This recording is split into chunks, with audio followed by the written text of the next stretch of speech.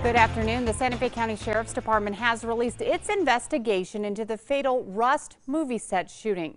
It is a 550 page report. It has been redacted in parts with some information left out, but it does include interviews discussing safety concerns on the set, as well as the FBI ballistic report on the gun used in the shooting. Here's News 13's Ariana Kraft with some key findings.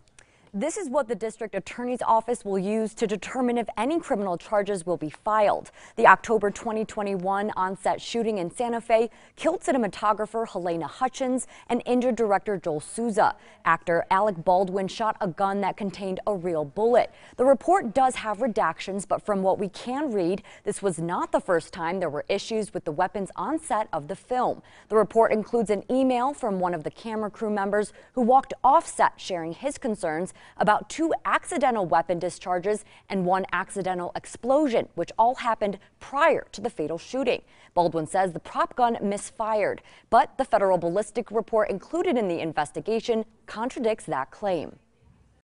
I take the gun out, and as I take, like as it clears, as the barrel clears I turn and cock the gun over here. I turn and cock the gun, the gun goes off.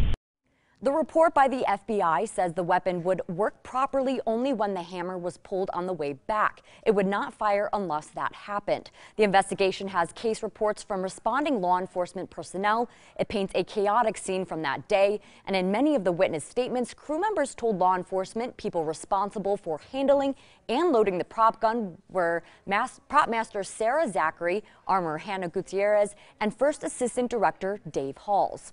And as part of the wrongful death lawsuit settlement with Hutchins' widower, production of the movie Rust will begin in January, but it won't be filmed in New Mexico. Back to you. Okay, thanks, Ariana. Now, we did reach out to the Santa Fe District Attorney and her office. They say they are still reviewing that investigative report, and no decision has been made yet on whether to pursue charges.